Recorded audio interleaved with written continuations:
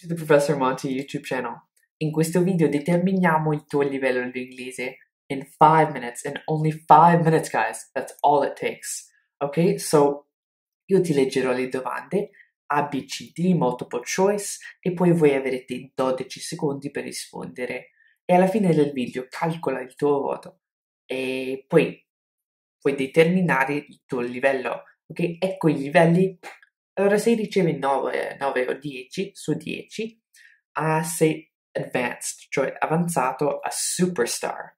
Okay, so uh, let's start. Let's go. Question number one. I mm a tree from my backyard. A reminded, B rewound, C dugs, D removed.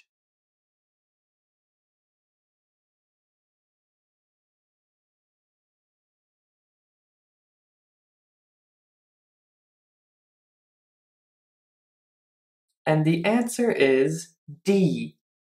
Ho tolto un albero dal mio cortile dietro casa, right? I removed a tree from my backyard. Togliere, rimuovere. Okay, next question. I eat cereal with a mm, but I eat spaghetti with a mm. A fork spoon, B knife spoon, C spoon fork, D spoon knife.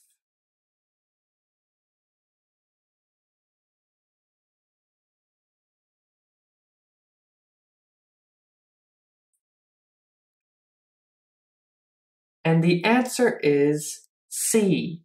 I eat cereal with a spoon, but I eat spaghetti with a fork. Right? Spoon, cucchiaio, fork, forchetta. Okay. Number three. I wanted to mm you that you have a dentist appointment tomorrow. A. Remind. B. Remember. C. Reminisce. D.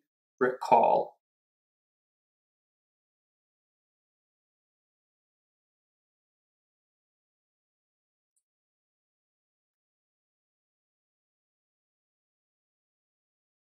And the answer is A, right? I wanted to remind you because remind is ricordare qualcosa a qualcuno. Okay, remember, remember is just ricordare. So if you see an object pronoun, right, remind you, remind him, remind her, you have to use remind, not remember. Okay, next question. I'm, mm, it's so cold in here. A, freezing, B. Boiling. C. Cool. D. Stifling.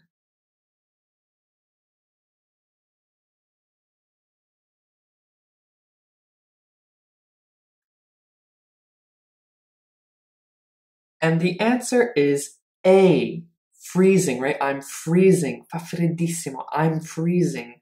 Um, note that boiling is very, very hot. Cool, fresco. Stifling, right? It's stifling hot. It's very, very, very, very, very hot. Okay. I wanted to mm your pen. A script. B uses. C borrow. D lend.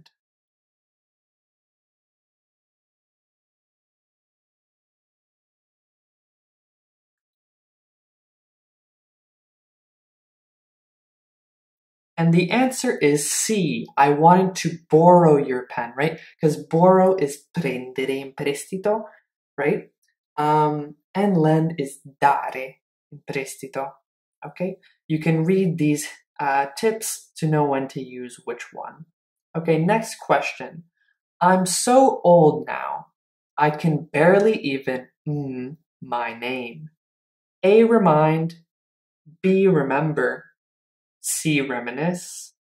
D. Recalled.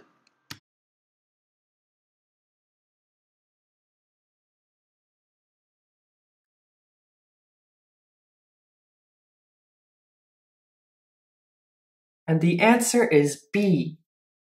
I'm so old now, I can barely even remember my name, right? Because remind, like we said, is ricordare qualcosa a qualcuno. But there's no a qualcuno here. So we have to use remember. Okay.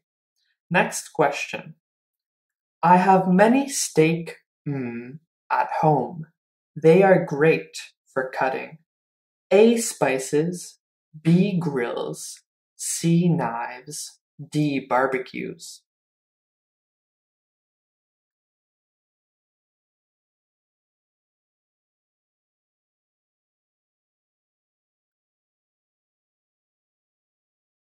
And the answer is C, knives, right? Because we know they're great for cutting, tagliare, per tagliare. So it has to be knives, okay?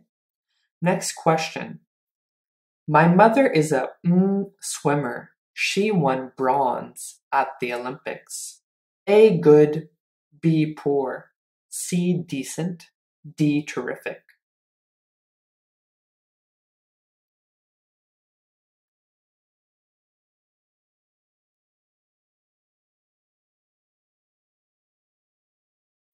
And the answer is D, terrific, right? Because she's not just good, she's very, very, very good, which is what terrific means, right?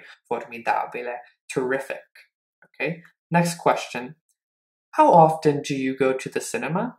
I go quite mm, A, always, B, usually, C, oftenly, D, frequently.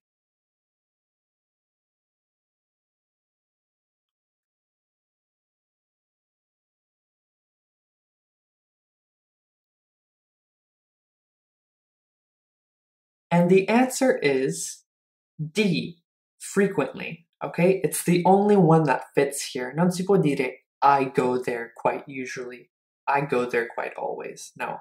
And oftenly, non esiste. Next question. The fish were right in front of me, but they swam away. Hmm. I didn't see them again. A, out the sight. B, out of the sight. C, out of sight. D, out from sight.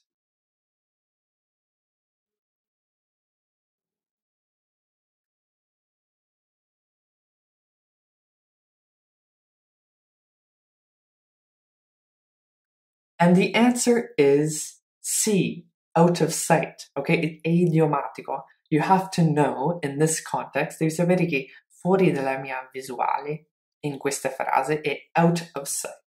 Ok, una domanda difficile. Ok, and a bonus thing here, una bellissima espressione. Um, out of sight, out of mind. Lontano dagli occhi, lontano dal cuore. Okay, guys, so thank you so much. God bless. and um, write your levels in the comments. Scrivete i vostri livelli uh, nei commenti. Ciao!